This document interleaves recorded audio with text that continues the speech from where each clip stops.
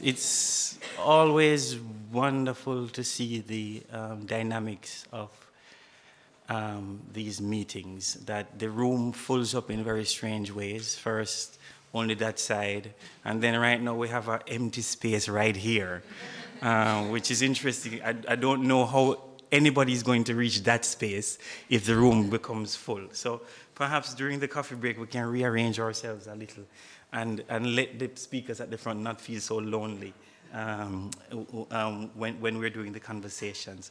Good morning, my name is Wayne Modest, and I would like to welcome you to the Research Center for Material Culture, to the National Museum of World Cultures, to the Museum Volkenkunde, for this, one of our um, ongoing set of conversations around the work of museums like ours, what we may call world cultures museums, ethnographic museums, or more generally, the work of museums along very different parameters.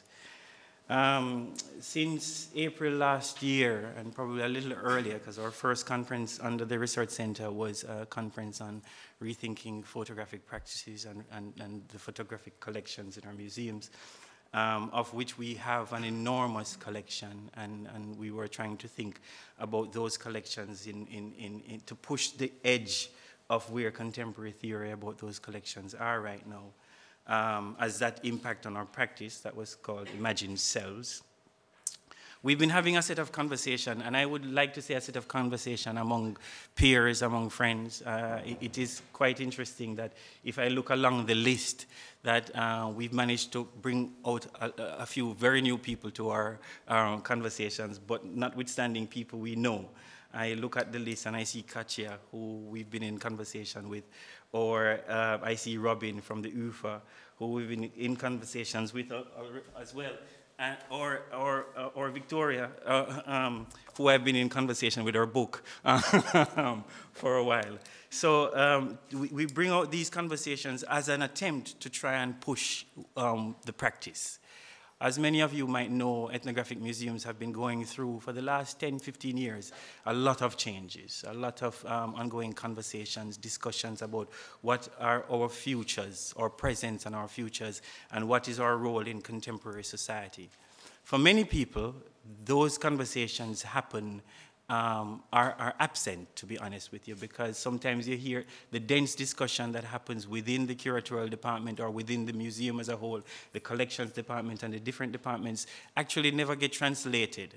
And that's one of the interesting things about what, what, when you think about these things called permanent exhibitions. Their permanence means that sometimes some of the changes that are happening never get seen. So this, um, the forum that we create now is also um, to rethink what the seenness, the visibility of our own internal practices um, are by staging these ongoing conversations around the museum and what its present is and its future. So digital horizons, virtual selves, rethinking the cultural heritage in, in museums. And that we have gone through many iterations of this title. it started about around digitality, digital cultures in ethnographic museums. Um, but notwithstanding, it is for us an, an, an, an, urgent theme. Within the Research Center for Material Culture, we've, we've nominated certain research themes, and the question of digitality is one of them. We thought to think about the digital um, for two reasons. On the one hand, you know, and I was at a conference a few years ago where when somebody made the statement that museums have always been at the cutting edge of of, um, of digital practices. Once the computer came, we had it. Once the, the, the, the, the it came, we had it, and it gets obsolete over and over and over and over again, and we change it. We have the databases, we have whatever. So to look at that, the museums as a, as a, a space where the digital has takes space and what happens with it in the museum. And that includes an engagement with the massive database that we try to create understand, to document, and to share with our different publics, and to think about a refiguring of what the documentation system mean for how we articulate with our publics. But there was a second side to the questions of the digital, and that emerged in conversation with the two organizers today, and I'll introduce them after, but also out of um, our own thinking about if we were if we are an institution that has for a long time been addressed at this question of the, what I call the cultural subject, that's what, how we put it in the museum. We deal with this thing called the cultural. We deal with um, culture. Then what happens in the time of digital culture?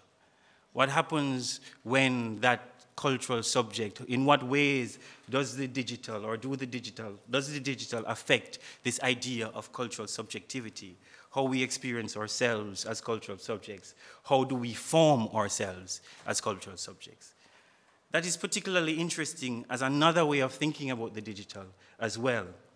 And one of the, um, I've had a little bit of a pet peeve, and anybody who who's heard me speak about this will have, would have heard it, and I think Liza and, and Karin will bring it more to the fore later on.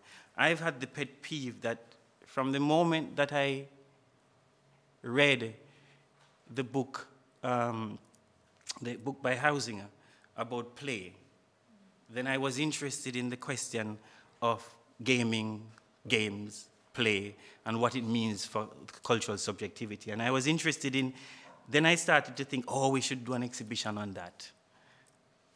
And look at what we have in our collections and what would it look like if we were to put it on.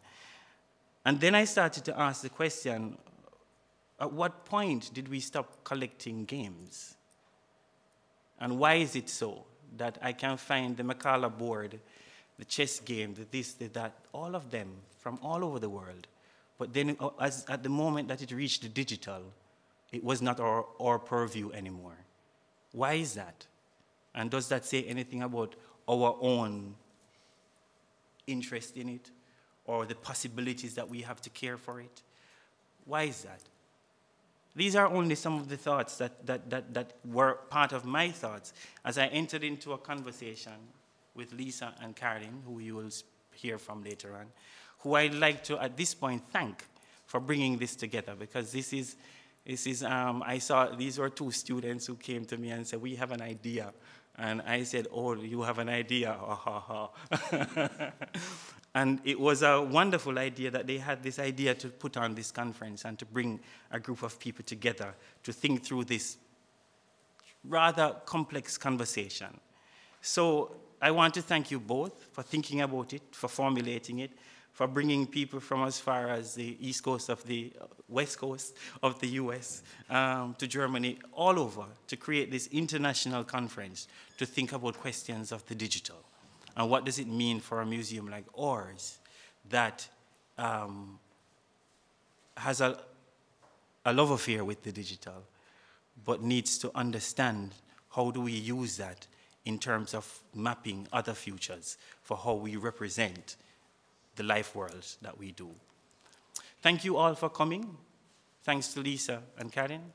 And hopefully we will, um, I, I, I, he doesn't want me to say this, I'm sure, but when I, when I, when we spoke, when I spoke to Robin, he's, he did say that he's going to be feisty this morning. He's going to ask a lot of terrible questions and criticize the ethnographic museum. And we said, we said, welcome. So let it be, let it be a, a conversation. But what we want to do is to push practice. So you don't have to be polite about the criticism that you have, even about the framing and the, and the things that we want to do. Let us have a dense, good debate, discussion. For those of you who do not know, we are, well, you see it, we are recording this. We record all our events because we want our website to be a space where these discussions are accessible. And um, Liza and Karin will say as well that um, it is hoped that through their push, um, which is going to be required, that a publication of some sort will come from this. I, Liza, Karin. Hello, everyone. You're with a lot. Thank you for coming. Um, digital technologies have changed the ways museums preserve, make accessible, and present cultural heritage. Disclosing collections on digital platforms vis allows visitors to use, share, reframe, and represent these collections. Digital technologies such as photo ma manipulation software and 3D scanning have led to new forms of heritage interpretation, revealing objects in a new light. Digital technologies also play an increasingly decisive role in the physical exhibition space. Apps, multimedia tours, virtual reality devices are applied to contextualize museum objects, provide additional information, and actively engage visitors as participants. As Wayne already uh, stated, the National Museum of World Cultures follows this trend. Recent projects such as Foto zoekt familie, a project that aims to reunite 300 family photo albums from the former Dutch East Indies with their rightful owners. Roots to Share, a digital repatriation project of historical photos made in, in Greenland from the collection of the Museum Volkenkunde Leiden and Museum The Hague. And Museum Explorer, an innovative app that aims to enrich the museum experience through the employment of iBeacon technology, all relied on the ability of digital technologies to make the museum collection accessible, to increase visitor participation, and experiment with co-creation and repatriation strategies. And although these kinds of projects demonstrate that the museum is actively engaging with and exploring the potential of the digital, it hasn't led to a thinking of digital practices and object, objects as possible heritage worthy of a place in a museum collection.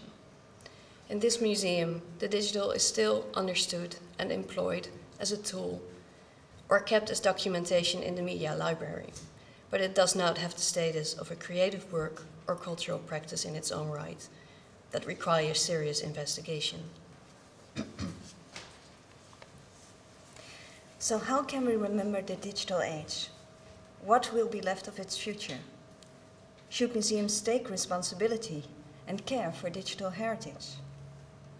Within this conference, this question will be approached from two angles. The first is quite concrete. What could be interesting for the Anthropological Museum to collect? Which part of digital culture is relevant for these museums?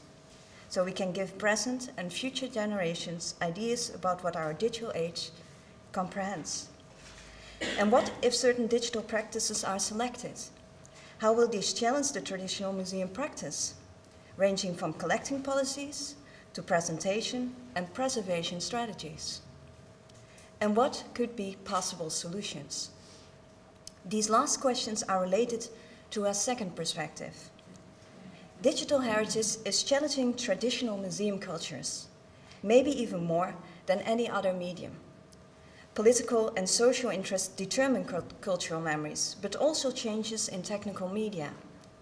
Written or printed text gave us different access to the past, or give us different access to the past, than images do. Photography frames and freezes historical moments.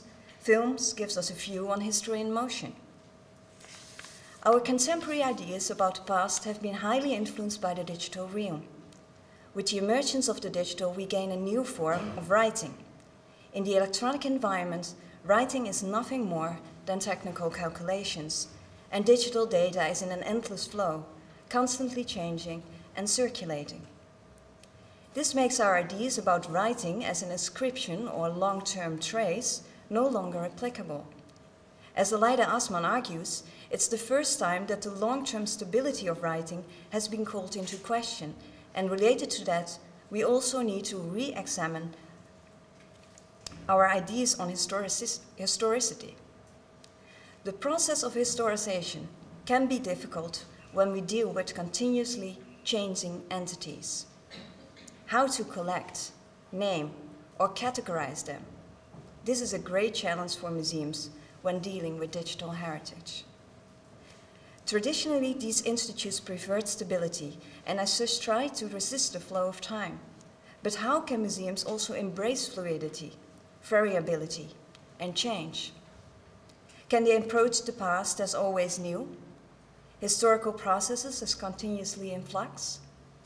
Comparable with the always changing processes of life? And what new opportunities will this offer for museums? Another important characteristic of the digital is its ability to stimulate co-authorship. In addition to that, also this lesson has been written collaboratively not only did Liza and I share our knowledge expertise, but also the curators within the National Museum of World Culture shared their reflections on digital heritage with us. And this is also where Wayne was referring to. Leading up to the conference, a lively online discussion was generated after an email of Wayne Modest in which he proposed the video game never alone, alongside the question, could we acquire such a game? This lecture takes this conversation as starting point, since it precisely reflects the question we want to raise within the conference on how does the digital make us rethink memory strategies within museums. But for that, first let us take a look at the trailer of the game.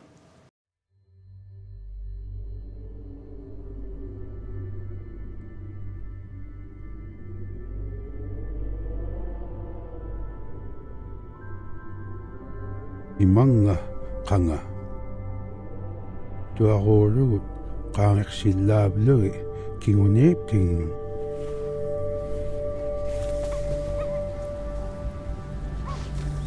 улиартуакта кангиксипкаруugaa игилеруsia нуна сули qanуq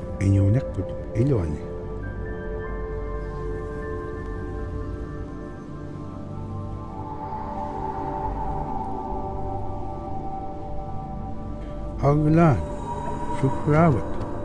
وتقت قلاقتوت الغخلوتات تتقمنا.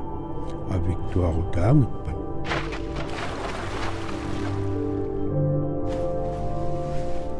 دامنا شبنغبلو ومنا بيراليقتو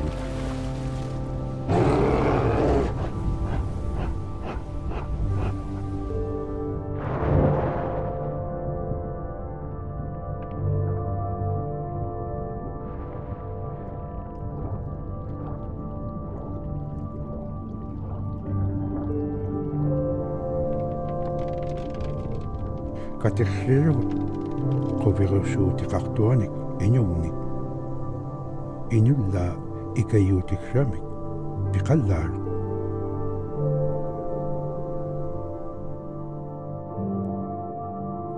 аллагиинин иниусинин аглаан сивунерат атилу qaangiqsitaaugрауккартугут аасин таамна илингну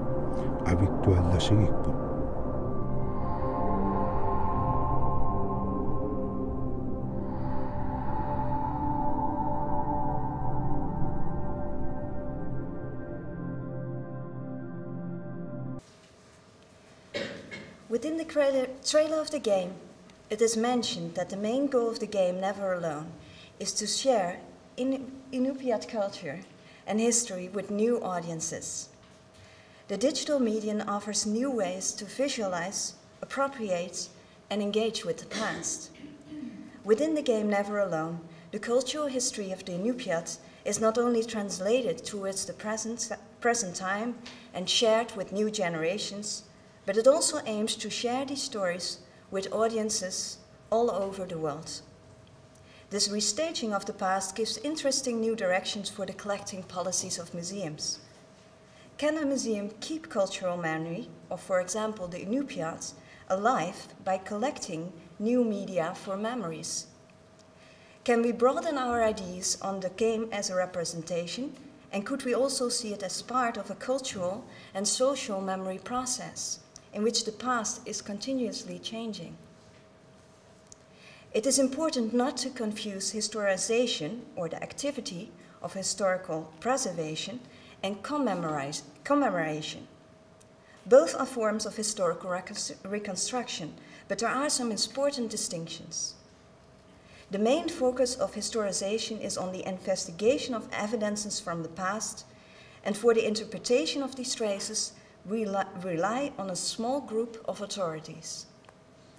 In contrast, social memory is a group process that keeps memories alive within different generations. The act of memory depends on the past, but it always happens within the present.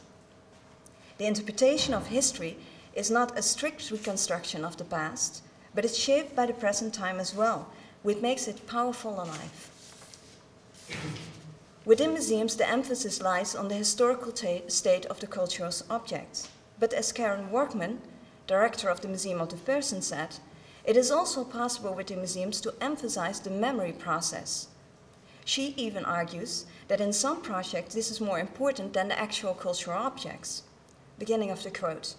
It may be that the most important factor of the digitization project is not the creation of the digital collection as such, but the group's engagement in the, process, in the process that motivates new generation to value their history.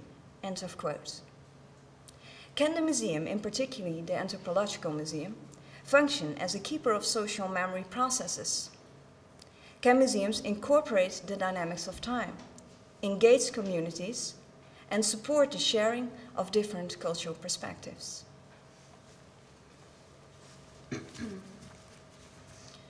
In order to shift from a museum practice in which objects are central to a practice that emphasizes processes, museums should rethink their definitions of objects and their materiality, and the value system that underlies these definitions. Despite efforts to increase attention and acknowledgement for Im immaterial heritage, museum culture is still highly object centered. This object centeredness is related to the prevailing importance of values such as aura, authenticity, and originality, and the idea that these values are intrinsically linked to an object's materiality.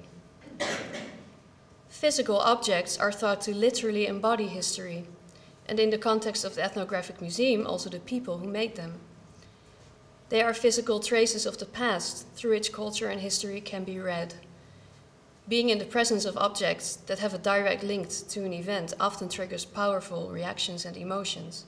The smell, texture, sound, and taste of a physical object plays an important role in attributing meaning and value. Digital media, supposedly lacking this sensuality and indexical materiality, are not valued as authentic or original, or of capable of triggering deep emotions.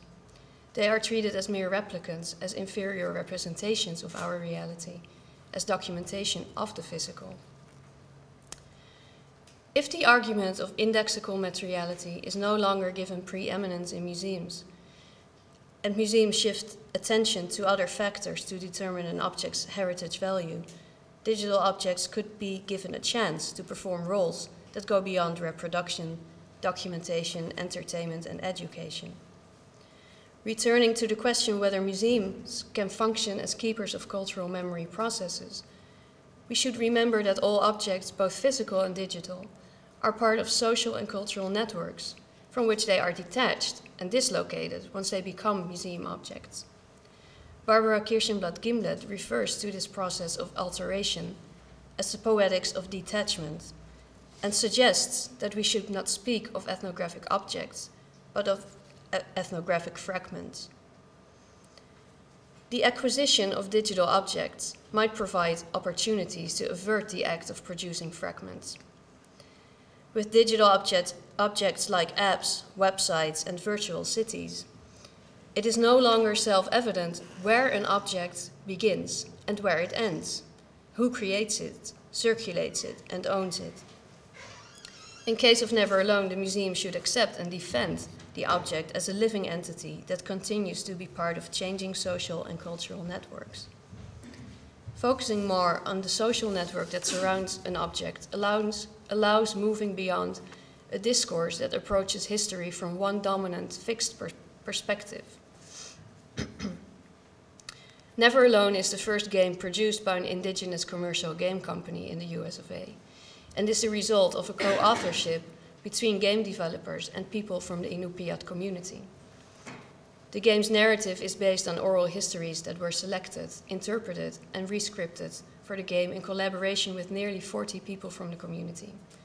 The game also incorporated and remediated aspects of the visual and material culture of the Inupiat in its design and story, such as drawings, dress, and utensils, and integrated detailed aspects of the geographical circumstances in which the histories take place. As such, the game is a result, reflection, and reconstruction of contemporary and historical social, social memory processes and forms a participatory archive that communicates individual and collective memories. This do does not imply that the Inupiat are the only stakeholders or representatives of this game. Rather, because the main goal of Never Alone is to share Inupiat culture with new audiences throughout the world, the circulation and perhaps even appropriation of this game in different cultural contexts and communities is an essential part of what the game entails. It is intended to be an object in flux. If the museum decides to collect Never Alone, it should be aware of its re responsibility as a keeper of social memory processes. The museum should treat the game as a live, interactive, and dynamic process and stimulate the formation of new social and cultural networks for this game. We could question if the interactivity within this game is participative enough. It can also be shared with different communities that cannot only passively consume it, but actively make it, their own, make it their own. Is the code, for example, open source? Can other programmers change the game? Is there a Creative Commons license that makes it possible for the audiences to reappropriate the game? Or is there an additional website or online forum that offers opportunities for conversations and debates? Over time, the Inupiat culture will be represented and remediated in new cultural forms, contexts, and archives to keep the traditions alive. History from this perspective is in continuous change. Museums could facilitate this and employ their historicizing function. They could map and document where, ob uh, where objects have been reused or components of objects have been reused. And in some cases, for example, in the case of Never Alone, it could also be considered to become part of the collection. Thank you.